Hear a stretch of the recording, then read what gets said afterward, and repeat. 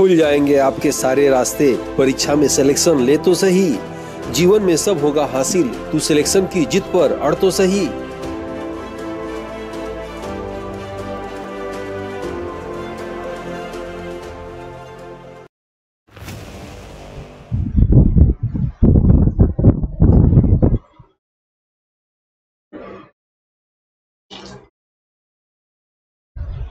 Aditya classes exam guru channel में आप सबका स्वागत है। आज भारत का समान भूगोल की पहली क्लास है।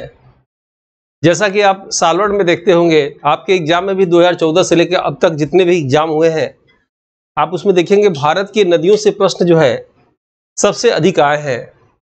और एग्ज़ाम में, हर एग्ज़ाम में जो है, भारत की नदियों से प्रश्न जो है, आते हैं। उसको देखते हुए टीम द्वारा जो है, महत्वपूर्ण प्रश्न जो आ चुके हैं, आएँगे। आने की उम्मीद है, उन सबको जो है इस क्लास में संकलित कर दिया गया है। तो आइए देखते हैं, आज की क्लास जो है, भारत की नदियाँ, याद रखिएगा, सभी आगामी परीक्षा के लिए चुनिंदा तथ्य हैं इसमें, और भारत के भूगोल का ये पहली क्लास है। आइए देखते हैं ये। सबसे पहले भारत के भूगोल के अंतर्गत भारत की नदियों को बताने से पहले भारत के जो है समान परिवेश राज्यों के विषय में कुछ बताना चाहेंगे। आप देखेंगे इसमें कि भारत में वर्तमान में राज्यों की संख्या अट्ठाईस है, आप जानते होंगे। ठीक है? केंद्रशासित राज्यों की संख्या आप ये भी जानते होंगे, आठ है। स्थल रुद्र या लैंडलॉक या भू आवेष्टित देश, या राज्य। या वे राज्य जो जो है, जिसके चारों ओर क्या हो? जो भू, भूमि हो, उसे स्थल रुद्र या कहते हैं, ठीक है? इनकी संख्या पाँच है। या भारत के तटीय राज्यों की संख्या नौ है। और भारत में राज्यों के राजभाषा की संख्या कितना है? ये भी नौ है, ठीक है? यहाँ आप दो चीज़ जानेंगे। भारत का भूगोल शुरू करने से पहले जो है, कुछ ये आपको जानना ज़रूरी है। दो डेट याद रखिएगा 31 अक्टूबर 2019 का डेट आप याद रखेंगे और 20-26 जनवरी 2020 का डेट याद रखेंगे। ये दोनों डेट आपको याद होना चाहिए, क्योंकि तो जब भी हम लोगों ने देखा कि राज्य बना, टूटा, उसके बाद एग्ज़ाम में निश्चित उसमें से एक दो प्रश्न आते हैं, ठीक है? और अभी आप देखे होंगे, आया भी था।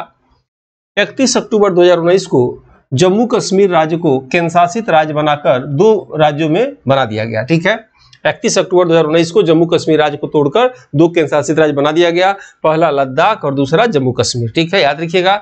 और लद्दाख के प्रथम उपराज्यपाल कौन थे? आर के माथुर थे। और वर्तमान में बी डी मिश्रा एग्ज़ाम से पहले अपडेट होकर जाइएगा। ठीक है उसके बाद जम्मू कश्मीर के प्रथम उपराज्यपाल गिरीश चंद मुर्मू, याद रखिएगा।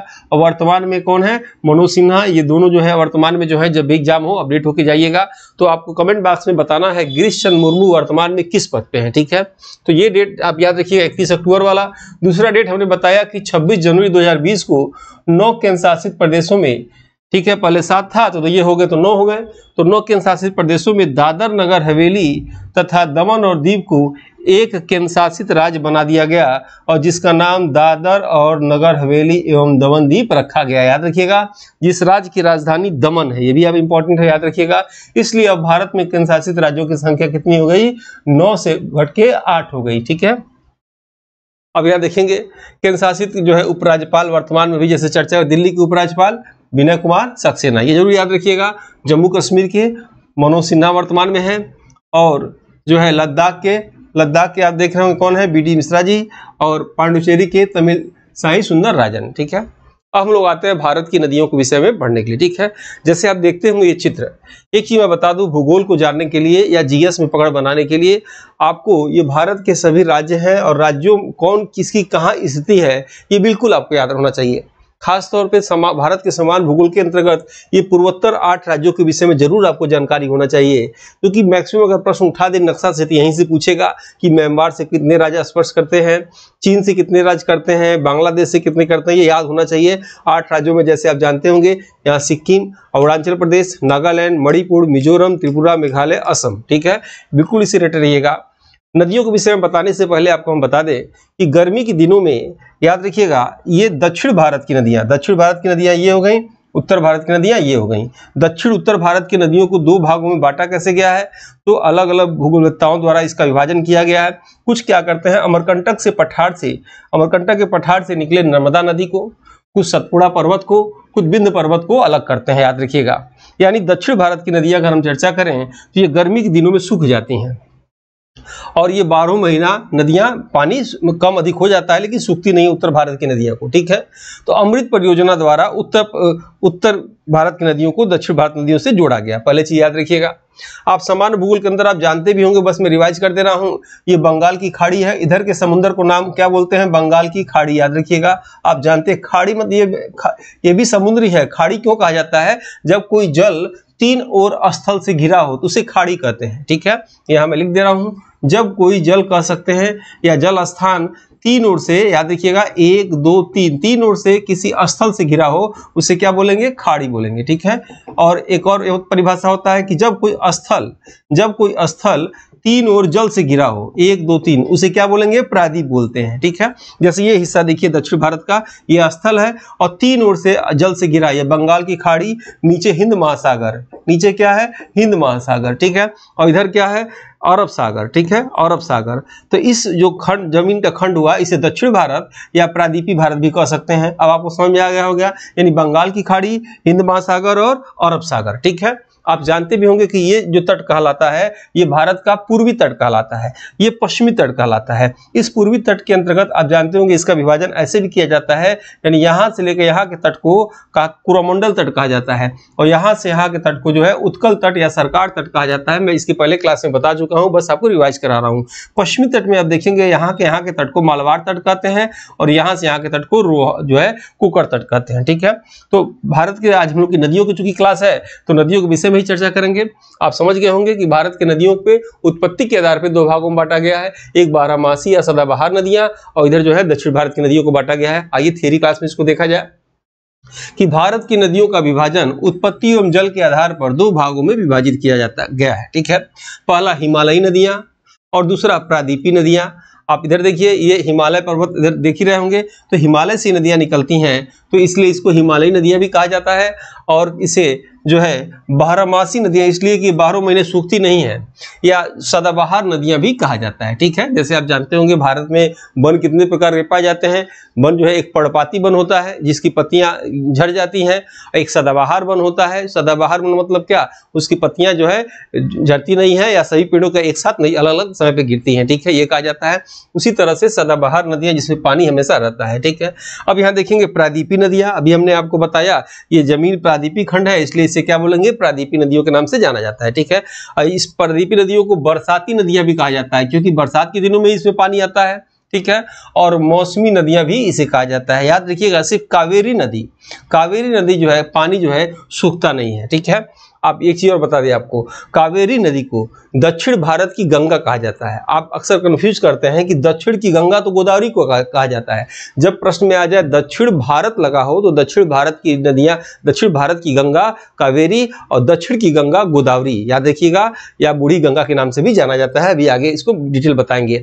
कुछ भी मैंने कोशिश किया है कि सब कुछ आपको बता दिया जाए, हर एक क्लास में कुछ छूटे मत। परिभाषा के रूप में देखा जाए कि हिमालयी नदियाँ या बारहमासी नदियाँ या सदाबहार नदियाँ, ये नदियाँ हिमालय से निकलती हैं। जैसे गंगा यमुना गोमती घाघरा गंडक कोसी महानंदी महानदी ब्रह्मपुत्र, सिंधु, सहायक नदियाँ, झेलम, चेनाव राधि व्यास, सतलज इत्यादि नदियाँ। अभी आगे चल के मेरे इसी क्लास में ही बताया जाएगा आपको कि इनकी उत्पत्ति कहाँ है, ये कहाँ जाके मिलती हैं, कौन सी बात है इस पर सब कुछ बताया जाएगा। लास्ट तक आप बने रहिएगा। अभी क्लास जो है, थोड़ी देर बाद जो है, बिल्कुल क्लास को मैंने चित्रात्मक कर दिया है ताकि आपको सब कुछ समझ में आ जाए, ठीक है? चित्रात्मक क्लास ये क्या होता है कि आपको जल्दी समझ में आ जाएगा और मुझे भी लेक्चर देने में आसानी होगा, ठीक है? अब देखेंगे। प्रादीपी नदियाँ किसे कहेंगे? कि ये नदियाँ दक्षिण भारत की नदियाँ कहलाती हैं, जैसे चंबल नदी, बेतवा नदी, दामोदर नदी, स्वर्ण नदी, नर्मदा नदी, ताप्ती नदी, महानदी, गोदावरी नदी, कृष्णा नदी, पेन्नार नदी आदि, ठीक है? अपवाद में कावेरी नदी, याद रखिएगा, कावेरी नदी जो है, प्रादीप नदियों से अपवाद में आती है, ठीक है? अब प्रश्न में आप बताएँगे कि जो है, कावेरी जल विवाद, अभी सुप्रीम कोर्ट में चर्चा भी रहा किन किन राज्यों के बीच में है, आप कमेंट बॉक्स में बताएँगे, ठीक है? अब हम लोग आगे क्लास को शुरू करते हैं। ये पूर्वोत्तर भारत के राज्यों को बिल्कुल आप याद रखिएगा। देखिए, हमने यहाँ नंबर डाल रखा है। ये कौन सा है? पहला क्या है? सिक्किम, ठीक है? सिक्किम, ये क्या है? अरुणाचल प्रदेश। एकदम आप, मेरे हिसाब से जो भी मेरा अनुभव रहा है, आँखें आप बंद कर लेंगे। बंद करने के बाद बिल्कुल कौन सा कहाँ है, आपको मालूम होना चाहिए। एक रुपए का ऐसे ब्लैंक नक्शा मिलता है। स्टेशनरी की दुकान से आप मंगा लेंगे और सभी को आठ दस बार भर देंगे। दस मंगा लीजिएगा, दस को भर दीजिएगा, आपको याद हो जाएगा, ठीक है? फिर यहाँ देखेंगे क्या है, नागालैंड, और यहाँ पे क्या है, मणिपुर, मिजोरम, त्रिपुरा, मेघालय और असम, ठीक है? यहाँ आप देखेंगे। पूर्वोत्तर भारत में राज्यों की संख्या कितनी है, आठ राज्य आते हैं। सिक्किम राज्य सिक्किम राज्य क्या है, सबसे छोटा छोटा मतलब क्या? इधर पूर्वोत्तर भारत का सबसे छोटा राज्य सिक्किम, याद रखिएगा, ठीक है? उस तरह अगर राज्य पूछेगा तो पूरे भारत में अट्ठाईस राज्यों में सबसे छोटा राज्य गोवा, और सबसे बड़ा राजस्थान। याद रखिएगा, ठीक है? उत्तर प्रदेश से चौथा स्थान आता है तो चौथा स्थान आता है, याद रखिएगा, ठीक है? अब यहाँ देखेंगे, सिक्किम के बाद अरुणाचल प्रदेश, इसको नेफा राज्य भी कहा जाता है। चीन की मैकमोहन रेखा सिर्फ़ अरुणाचल प्रदेश से ही मिलती है, ये भी आप याद रखिएगा। नागालैंड, ठीक है? मणिपुर मिजोरम, असम, मेघालय और त्रिपुरा। सबसे बड़ा राज्य याद रखिएगा, असम को कहा जाता है। इसको सात बहनों, छह बहनों का राज्य भी, सात बहनों का राज्य भी कहा जाता है। सात बहनों के राज्य में एक भाई है, जिसका नाम क्या है? सिक्किम ऐसे भी कहा कहीं किताबों में आठ बहनों का भी राज्य लिखा रहता है। कुछ कुछ अंतर मिल जाता है। अब हम लोग यहाँ चर्चा क्या करेंगे? देखेंगे, चर्चा हम लोग करने जा रहे हैं कि जो हिमालय से नदियाँ निकलती हैं, उसके विषय में चर्चा कर लिया जाए। ध्यान से सुनिएगा, मेरे हिसाब से सब कुछ आपको समझ में आ जाएगा। मैं पूरी कोशिश कर रहा हूँ। यहाँ देखिए कैलाश मानसोवर है। ये है कहाँ? तो ये आपको चीन में पड़ता है, ठीक है? तिब्बत चीन में पड़ता है और तिब्बत चीन की लड़ाई अलग है, उसकी चर्चा नहीं करेंगे। और इस कैलाश मानसरोवर को याद रखिएगा, जो है चीन से वीज़ा लेना पड़ता है जाने के लिए। कहा जाता है कि माता पार्वती, भगवान शिव यही निवास करते हैं। ये माउंट एवरेस्ट से भी नीचा है, याद रखिएगा।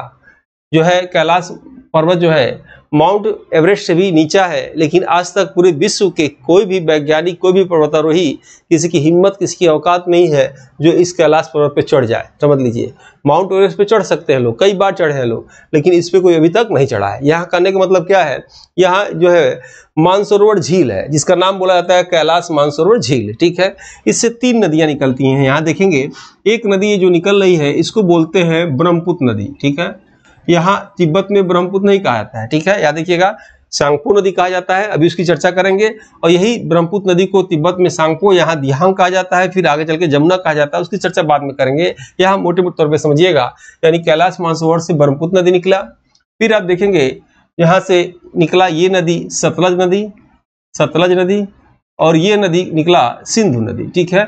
आप सालवर्ड में देखेंगे तो मैक्सिमम क्वेश्चन इनसे ज़रूर एक दो पूछता है। सबसे पहला प्रश्न याद रखिएगा, भारतीय क्षेत्र में कैलाश मानसरोवर नहीं आता है। भारत की तीनों नदियाँ बहुत ही महत्वपूर्ण हैं और एक प्रश्न आता है कि निम्नलिखित में से कौन सी नदी का उद्गम भारत में नहीं होता है? तो याद रखिएगा, भारत की तीनों, जैसे सबसे भारत की चौड़ी नदी ब्रह्मपुत्र नदी, भारत की सबसे लंबी नदी गंगा नदी, लेकिन इसका उद्गम भारत में नहीं है। तो प्रश्न क्या आएगा? निम्नलिखित में से कौन सी नदी का उद्गम भारत में जो है नहीं है? तो इन तीनों नदियों का उद्गम नहीं है, ऐसे जोड़ लेगा। या लिख देगा निम्नलिखित में से, किन नदियों का उद्गम भारत से बाहर है? तीन लिख देगा लास्ट में ऊपर सभी लिख देगा, तब भी कंफ्यूजन हो जाएगा। इन तीनों नदियों का उद्गम नहीं है। अब इन तीनों का डिटेल हम लोग देखते हैं, एक नए चित्र के माध्यम से हम लोग देखने जा रहे हैं। ठीक है? तो सबसे पहले हम लोग आते हैं यहाँ पे। अभी आप, हमने चर्चा किया ब्रह्मपुत्र नदी की, ठीक है? इस नदी की हम लोग चर्चा करने जा रहे हैं सबसे पहले इस नदी की, ब्रह्मपुत्र नदी की, ठीक है? अब देखिएगा, यहाँ ये चीज़ जो है, कैलाश मानसरोवर है, भारत से बाहर तिब्बत में है, ठीक है? और ये नदी कैसे आती है अरुणाचल प्रदेश में नमचा बरवा नामक स्थान पे? फिर वहाँ से कैसे जो है, ये इसमें बंगाल की खाड़ी में आ रही है, उसको देखेंगे, ठीक है? ये स्थान है कैलाश मानसरोवर। जैसा कि आप देख रहे होंगे, ये चीज़ है। अब ये चीज़ यहाँ आ गया। यहाँ से तिब्बत होते हुए नदी जा रही है, तिब्बत में इसे सांगपो नदी कहते हैं। अभी हमने चर्चा किया थोड़ा सा इसको पतला कर दे। क्या कहा जाता है इसको? सांगपो नदी कहा जाता है, ठीक है? तिब्बत में सांगपो नदी कहा जाता है। और ये सांगपो नदी तिब्बत से अरुणाचल प्रदेश में प्रवेश करती है। आपके एग्ज़ाम में प्रश्न आता है, अरुणाचल प्रदेश में जहाँ ये प्रवेश करती है, उसका नाम क्या है? तो नमचा बर्मा, याद रखिएगा, नमचा बर्मा पर्वत श्रृंखला है और ये यांगयाप दर्रा से प्रवेश करती है। और जैसे ये प्रवेश करी, अरुणाचल प्रदेश में आई तो अरुणाचल प्रदेश में इसको दिहांग नदी के नाम से भी जाना जाता है। ठीक है? और यहाँ जैसे दिहांग नदी होते हुए, जैसे ये असम में आई, यहाँ देखेंगे तो फिर इसे ब्रह्मपुत्र नदी के नाम से जाना जाता है। और यहाँ असम में ब्रह्मपुत्र नदी, और फिर यहाँ देखेंगे कि एक जो है, स्थल पड़ेगा और इस स्थल के दोनों ओर ऐसे घूम जाता है। ये नदी दोनों ओर घूम के पुनः एक धारा बना दे रही है। और ये जो स्थल है, जिसको बोलते हैं माजुली नदी द्वीप, याद रखिएगा। ये भारत का, विश्व का, याद रखिएगा। भारत का सबसे बड़ा जिला, याद रखिएगा। नदी द्वीप जिला है, पहला और एकलौता है, इसलिए इसके विषय में प्रश्न आ सकता है। इसी ब्रह्मपुत्र नदी पर, याद रखिएगा, यहाँ जो है लोहित नदी है, इसी लोहित नदी पर भूपेन हजारिका पुल या ढोला सदिया पुल है, भारत का सबसे बड़ा नदी पुल है, ठीक है? अब यहाँ आप देखेंगे कि असम से ये जो है ब्रह्मपुत्र नदी आगे आई यहाँ से भूटान से मानस नदी आती है, भी आके इस ब्रह्मपुत्र नदी मिल गई और फिर आप देखेंगे कि किस्सा नदी आती है सिक्किम से, ये भी आके ब्रह्मपुत्र नदी मिल गई। और ब्रह्मपुत्र नदी जैसे ही याद रखिएगा बांग्लादेश में प्रवेश करेगी तो बांग्लादेश में इसका नाम क्या हो जाएगा? जमुना नाम हो जाता है, ठीक है? और इधर से गंगा नदी, इधर से गंगा नदी आई तो गंगा नदी जब बांग्लादेश में प्रवेश करेगी तो उसका नाम पद्मा हो जाता है, अक्सर एग्जामिनर इस प्रश्न को उठाता है। अब यहाँ देखेंगे ब्रह्मपुत्र नदी जिसका नाम जमुना हो जाता है, गंगा नदी जिसका नाम पद्मा हो जाता है, दोनों एक जगह मिलते हैं, और मिलने के बाद एक नदी का निर्माण करते हैं और इसका नाम मेघना नदी हो जाता है। और ये मेघना नदी बंगाल की खाड़ी में जाकर सुंदर सुंदरबन का डेल्टा बनाती है मैग्रोव बन बनाती है या सुंदरीकरण वन बनाती है। ये पॉइंट याद रखिएगा। एग्जामिनर यहाँ से खूब प्रश्न उठाता है, ये भी याद रखिएगा। और हमेशा शिक्षा जो है आसान से याद रखिएगा, आसान से कठिन की कोशिश करना चाहिए, इतना कुछ जानिए। अब इसके बाद हम लोग आते हैं दूसरे नदी पे, ठीक है? दूसरा नदी हम लोग देखेंगे, ये सतलज नदी की चर्चा करेंगे और ये नदी देखेंगे जो हमने लिखा है सतलज नदी। तो कैलाश मानसरोवर से ये जो नदी निकल रही है, सतलज नदी, इसकी चर्चा करेंगे। तो अब देखिएगा ये चीज़ कहाँ बना? ये चीज़ आप देखेंगे यहाँ आ गया। ये है कैलाश मानसरोवर चित्त को समझाने के लिए हमने यहाँ ऐसे कर दिया। और ये सतलज नदी जब चला तो सिपकिला दर्रा, ठीक है? देखेंगे सिपकिला दर्रा से ये प्रवेश कर रहा है।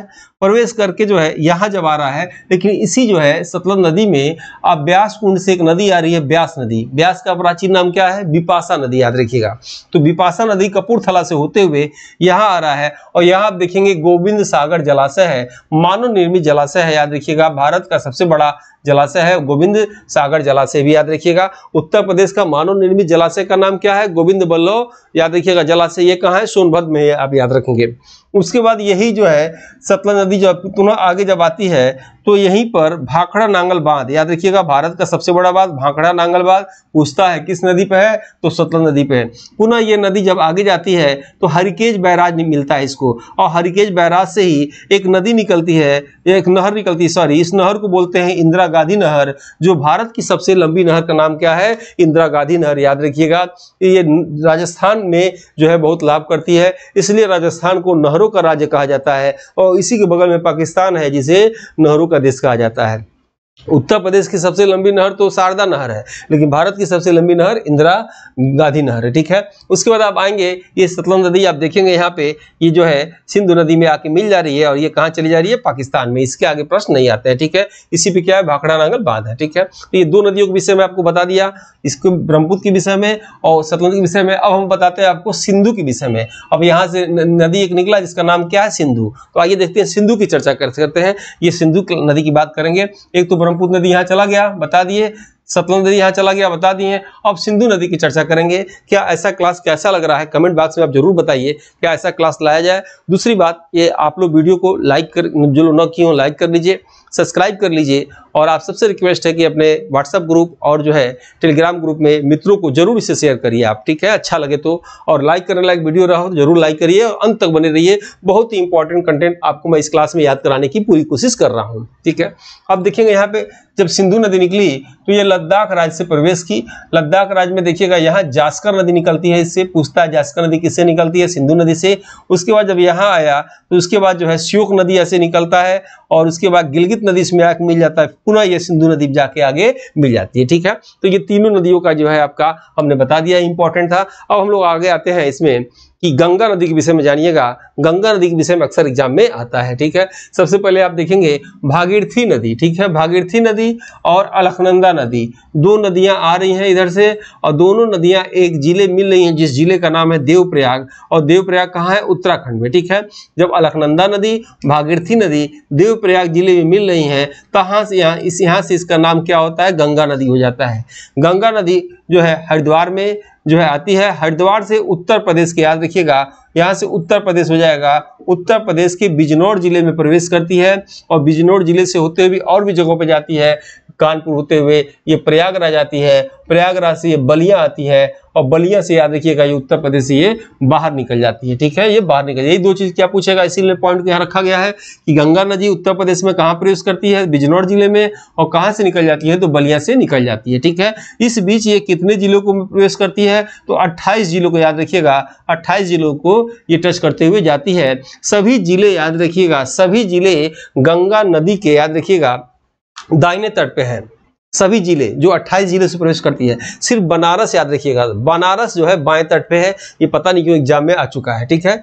अब यहाँ देखेंगे, गंगा नदी आगे जा रहा है, बिहार से, या बलिया से बिहार में प्रवेश कर रहा है। उसके पहले हम लोग चर्चा करेंगे कि यहाँ से देखेंगे बंदरपुछ बंदरपुर उत्तराखंड से एक नदी निकल रही है, जिसका नाम है यमुना नदी।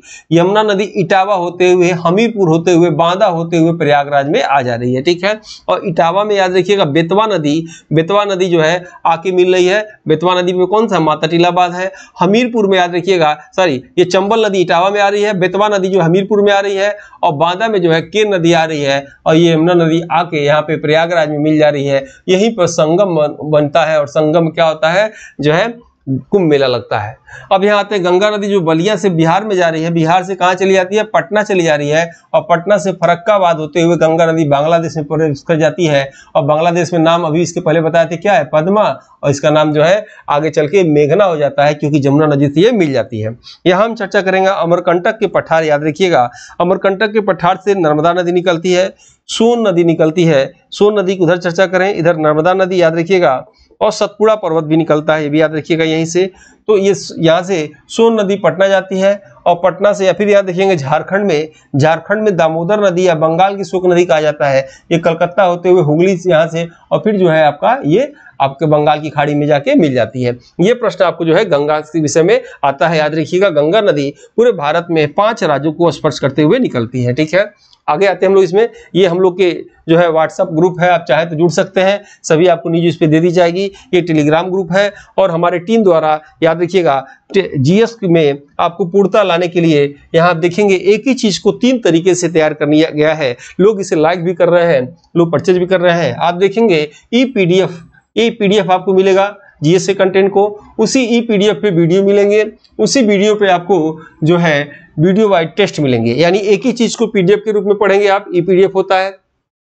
फिर वीडियो देखेंगे, पुनः आप जो है उसको जब टेस्ट देंगे तो आपके मन मस्तिष्क में, स्मृति में देर तक वो कंटेंट आ जाएगा, जल्दी भूलेगा नहीं। उसके बाद आप फाइनल टेस्ट देंगे, तब जाके आपको जीएस पेपर में पूर्णता आएगी। याद रखिएगा, इसकी वैलिटी यूपीएचएससी इक्यावन के एग्ज़ाम तक है, असिस्टेंट प्रोफेसर अकाउंट एडवर्टाइजमेंट के जब तक एग्ज़ाम ना हो जाए, तब तक रहेगी। इस टेस्ट में आपको ई पीडीएफ नोट्स मिलेगा, याद रखिएगा, आपको लिखना होगा। उसके बाद इसमें बायलिंगुअल हिंदी, इंग्लिश में रहेगा। दोनों भाषा में सालवर्ड पेपर 2014 से लेकर अभी तक जितने एग्ज़ाम हुए हैं, सब इसमें रहेंगे। इसमें रेगुलर प्रैक्टिस सेट आपको मिलेंगे, याद रखिएगा अपडेट होता रहेगा। जब तक एग्ज़ाम ना हो जाए, मिलता ही आ रहा है। और इसमें ऑर्गेनाइज टेस्ट है, याद रखिएगा। सीरियल वाइज टेस्ट बिल्कुल सिलेबस के अनुसार इसमें टेस्ट वीडियो और पीडीएफ पड़ा हुआ है। यूट्यूब पर याद रखिएगा, सभी जो है क्लासेज आपको सीरियल वाइज नहीं मिलेंगे और आपको टेस्ट करने से ही डिटेल आपको पूर्ण रूप से लाभ मिल पाएगा। इसमें आपको टेस्ट सीरीज़ मिलेगा। टेस्ट सीरीज़ आपको मॉडल पेपर के रूप में सिलेबस वाइज टेस्ट के रूप में और यूनिट वाइज टेस्ट के रूप में मिलेगा। इसका रेट उन्नीस है लेकिन अभी ये बारह निन्यानवे में दिया जा रहा है। और याद रखिएगा, अपनी गलतियों को एग्ज़ाम से पहले प्रैक्टिस करके सुधारें, ताकि वो गलतियाँ एग्ज़ाम सेंटर में आपकी ताकत बनकर आपको जीत दिलाए ठीक है? हमारे द्वारा ये चार बुक निकाला गया है, चारों जीएस का बुक है। इसमें जो है अस्सी मॉडल पेपर है। इसमें आपको फ्री क्या है ये जो है ओमार सीट फ्री मिलेगी, आपको डिलीवरी चार्ज फ्री मिलेगा। ये आप अमेजन से ही मंगा सकते हैं, जिसका रेट चार सौ निन्यानवे रुपये है। याद रखिएगा अमेजन द्वारा इसको बेस्ट सेलर का किताब मिला हुआ है। और ये समान अध्ययन का, मेरे हिसाब से जितने भी क्वेश्चन प्रोफेसर के एग्ज़ाम देने जा रहे हैं किसी भी स्टेट को, आपको या वैसे भी जीएस जिनका कमज़ोर है, उनको ये बुक मंगा लेना चाहिए। और जो है, आपको एग्ज़ाम में, ये जीएस में जितने भी प्रश्न इंपॉर्टेंट है, ये पढ़ के ही आपको जाना चाहिए। और एकदम बिल्कुल सदाभार प्रश्न आते हैं। इसके साथ आपको फ्री में ये आपको मार्कशीट मिलेगी, बताया गया था। चलिए आइए देखते हैं आगे क्लास में इसमें। आगे हम लोग देखेंगे। कि भारत की प्रमुख नदियाँ। एक तो प्रश्न ये रहता है मिलान करने वाला कि कौन सा स्थान किस नदी किनारे है? एकदम आप रटे रहिएगा, ध्यान से सुनिएगा, मैं कोशिश कर रहा हूँ, आपको याद हो जाए, ठीक है? आपके एग्ज़ाम में आएगा आगरा जो पूछा जाता वही डाला गया है। ठीक है, बाकी नहीं डाला गया। आगरा, दिल्ली, इलाहाबाद किस नदी किनारे है? तो यमुना नदी किनारे है। देवप्रयाग, हरिद्वार, कानपुर, पटना, बनारस, इलाहाबाद। इलाहाबाद में याद रखिएगा जमुना भी है, गंगा भी है। किस नदी किनारे है? तो गंगा नदी किनारे है। अब आप पूछेंगे, और ज़िले और ज़िले के विषय में एग्ज़ाम में बहुत कम प्रश्न आता है, साल भर देख लीजिएगा, ये इंपॉर्टेंट है। डिब्रूगढ़ गुवाहाटी किस नदी किनारे है? तो ब्रह्मपुत्र नदी किनारे है।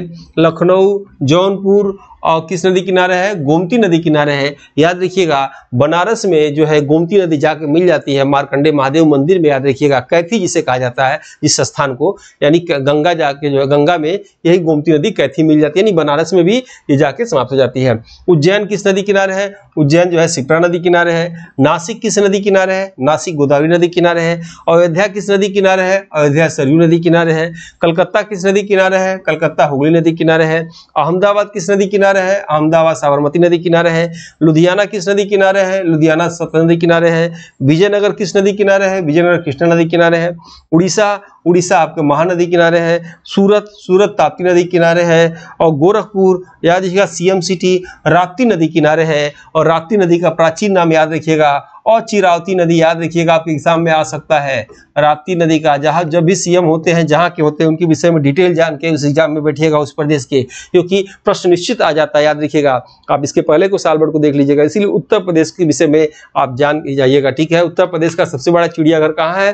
तो याद रखिएगा गोरखपुर में है, शहीद असफल ठीक है? नेक्स्ट आते हैं हम लोग। नदियों के किनारे कुछ महत्वपूर्ण देश जो अक्सर एग्ज़ाम में पूछा जाता है, इनके विषय में भी चर्चा कर लेते हैं। न्यूयॉर्क कहाँ है? अमेरिका में आप जानते होंगे न्यूयॉर्क हडसन नदी किनारे है। पाकिस्तान का लाहौर जो है, किस नदी किनारे है? रावी नदी किनारे है। रावी नदी का प्राचीन नाम पाड़ोसिड नदी है। पूरे विश्व का पहला युद्ध लड़ा गया था, जिसका नाम था दसराज युद्ध, ठीक है? तो दसराज का युद्ध भी इसी रावी नदी किनारे, पाड़ोसिड नदी किनारे ही लड़ा गया था। आप देखेंगे, पेरिस किस नदी किनारे है? पेरिस, फ्रांस में है तो सीन नदी किनारे है। लंदन किस लंदन ब्रिटेन की राजधानी किस नदी किनारे है? तो टेम्स नदी किनारे है। और सिडनी, ऑस्ट्रेलिया जो है, डार्लिंग नदी किनारे है।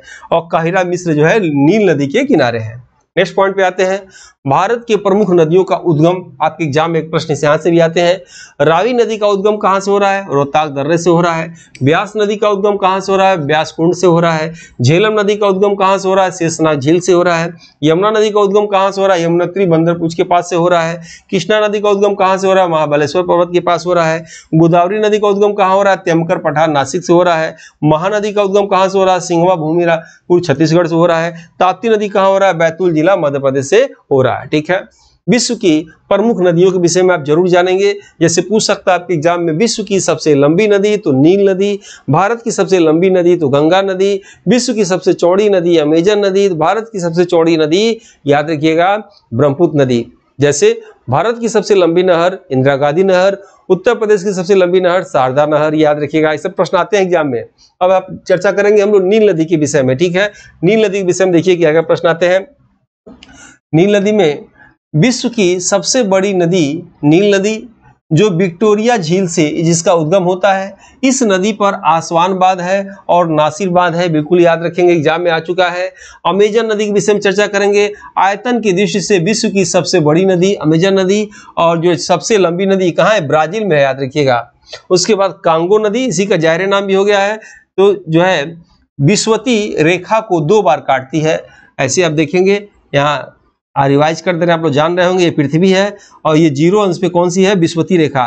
तो यही कांगो जायरे नदी दो बार काटती है, ठीक है? उसके बाद लिम्पिपो नदी आप देखेंगे, मकर रेखा को दो बार काटती है। दक्षिण ध्रुव पे आप देखेंगे, साढ़े तेईस अंश पे जो रेखा है, इसे मकर रेखा कहते हैं। लिम्पिपो नदी दो बार काटती है। माही नदी याद रखिएगा, भारत की यह नदी जो है, ये गुजरात में है, कर्क रेखा को दो बार काटती है। यानी ये कर्क रेखा है, इसको जो है गुजरात में दो बार काटती है। देखिएगा साढ़े तेईस अंश पे टॉपिक आप कैंसर कहा जाता है। उसके बाद रूर नदी जर्मनी में है, इसे कोयला नदी के नाम से भी जाना जाता है। यानी ये रूर नदी, कोयला नदी इसलिए कहते हैं कि कोयला का जीवाश्म लेके जाती है, काली टाइप की होती है। जैसे भारत की दामोदर नदी को रूर नदी के नाम से जाना जाता है, ये जर्मनी में है। ठीक है? नदियों संबंधित परीक्षा उपयोगी महत्वपूर्ण तथ्य। याद रखिएगा, बात पूछता है, झेलम नदी पे कौन सी परियोजना है? तो तुलबुल परियोजना है। ताप्ती नदी पे कौन सी परियोजना है? बताइए, उकाई परियोजना है।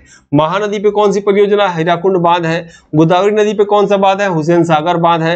कृष्णा नदी पे कौन सा बाँध है? नागार्जुन बाँध है। सतलज नदी पे कौन सी बाँध है? भाखड़ा नांगल बाँध है। नर्मदा नदी पे कौन सा बाँध है? सरदार सरोवर बाँध है। लूनी नदी को याद रखिएगा। लूनी नदी को अंत अपवाह नदी भी कहा जाता है। यह नदी खारा और मीठा जल दोनों लेकर बहती है। अब पॉइंट अब चर्चा करेंगे, बिल्कुल याद रखिएगा इसको। इंपॉर्टेंट है, ध्यान से सुनेंगे। मेरे ख्याल से सुन के ही आप एक दो बार देख लेंगे वीडियो तो याद हो जाएगा। इसमें नेक्स्ट पॉइंट है, भारत की सबसे लंबी नहर इंदिरा गांधी नहर, चार राज्य, राजस्थान, उत्तर प्रदेश, हरियाणा, पंजाब में बहती है, आप याद रखेंगे। उत्तर प्रदेश की सबसे लंबी नहर शारदा नहर, अभी मैं बोला, वही लिख रहा लिखा गया है। दक्षिण भारत की गंगा कावेरी, देखिएगा यहाँ भारत लिखा है। और दक्षिण की गंगा गोदावरी, याद रखेंगे आप।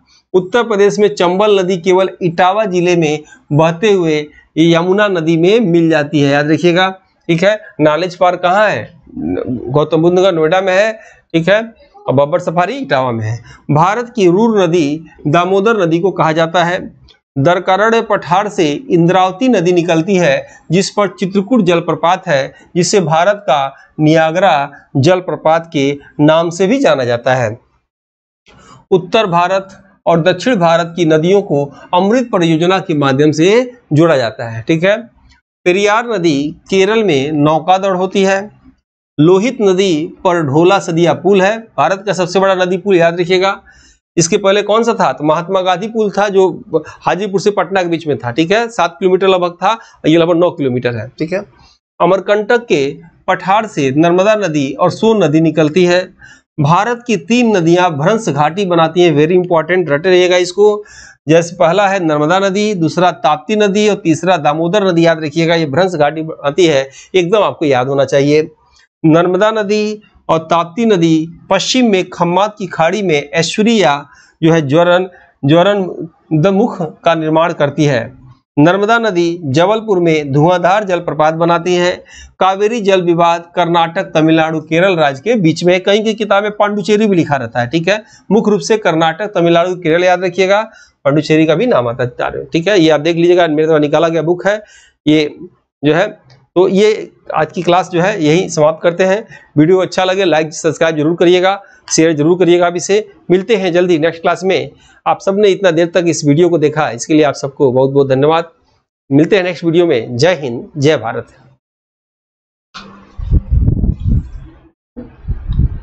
इस समान अध्ययन की मॉडल पेपर बुक को हिंदी एवं अंग्रेज़ी दोनों भाषा में तैयार किया गया है, जो कि समान अध्ययन एग्ज़ाम में किसी भी प्रदेश के असिस्टेंट प्रोफेसर एग्ज़ाम जीडीसी प्रवक्ता एग्ज़ाम के साथ LT grade GIC TGT PGT आदि एग्ज़ाम में सहायक सिद्ध होगा। उपरोक्त एग्ज़ाम के विगत वर्षों के पेपर का एनालिसिस करने के बाद वर्तमान एग्ज़ाम पैटर्न पर इसको अनुभवी टीम द्वारा तैयार किया गया है, जो कि आपके समान अध्ययन जनरल स्टडीज़ एग्ज़ाम के स्कोर को बढ़ाने में सहायक सिद्ध होगा। इस इन एग्ज़ाम की कुंजी जीएस पेपर होता है। इसमें चार बुक में 80 मॉडल पेपर हैं, जिसमें समान अध्ययन, सिलेबस के सभी क्षेत्रों से महत्वपूर्ण व चुनिंदा प्रश्न हैं, जो कि अक्सर एग्ज़ाम में पूछे जाते हैं। इस